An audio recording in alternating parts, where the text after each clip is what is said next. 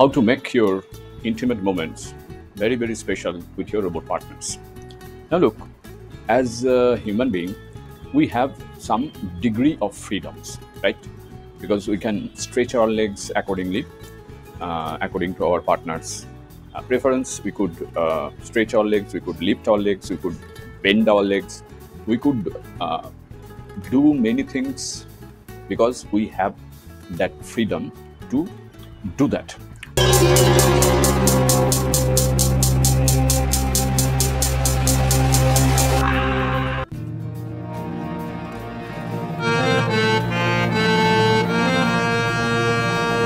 Before we proceed, let me tell you one thing. If you have not subscribed yet, please subscribe. It means a lot to me. And if you have already subscribed, tons of thanks for your support. But for a robot partner, which is uh, at present, uh, to some extent, at present, still now, human and robot partners, still now, looks like dolls, stiff dolls, which uh, are not supposed to have that freedom. So, what will happen?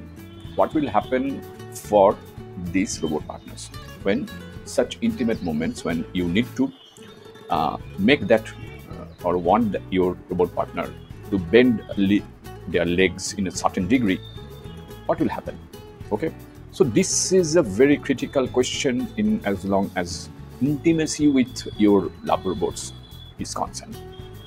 And believe me uh, i have been asked several times several times uh, by many uh, of our viewers, which I usually don't uh, put out in my comments uh, section because uh, so, sometimes the questions just just go out of the threshold. So I need to restrict them. However, the question is same. What kind of movement we can expect on bed with our robot partners? Because they look stiff they how will they bend their legs and how this technology helps them to do that let's uh, clarify a little bit okay because you know uh, inside a humanoid robot partner there is a structural frame which we, we will call skeleton. And skeleton of a humanoid robot is a critical system very very critical system just like us. It is designed to replicate human mobility.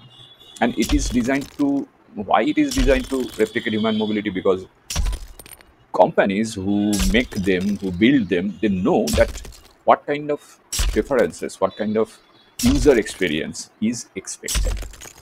This design prioritizes a wide range of motion through joints that mimic the human body's degree of freedom. We call it dof in robotics it is called dof degree of freedom.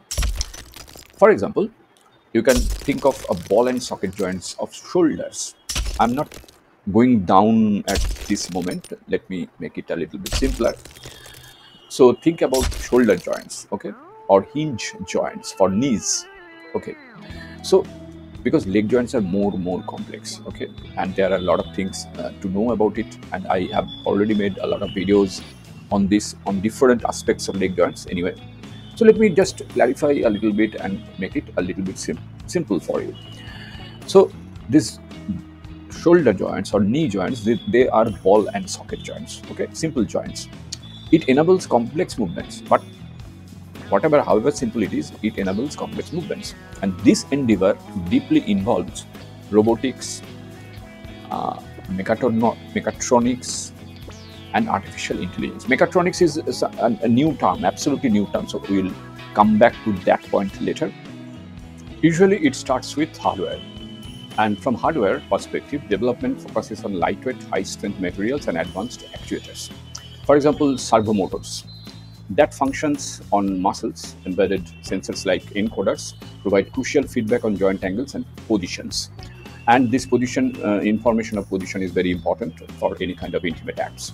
The software acts as a robot's nervous system translating high level commands into low level signals that control each motor in real time. And finally everything is governed by sophisticated algorithms.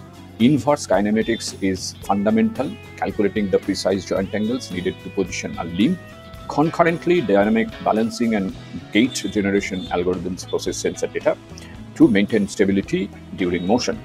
The seamless integration of these three areas that means physical mechanics electronic control and intelligent computation hardware software and algorithms is essential for creating fluid functional humanoid movement on your bed.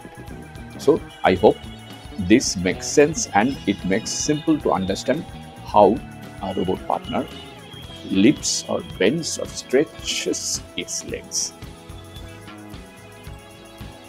so that is it.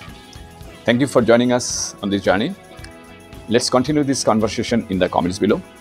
If you like the video, please hit the bell icon to get notified and don't forget to like with your friends, share and subscribe for more insights. If you have already subscribed, tons of thanks for your support. It means a lot to me. And please consider signing up for membership zone to support Wooden Slate so that we can make it better and better. See you in the next video. Till then, goodbye. Take care and stay safe.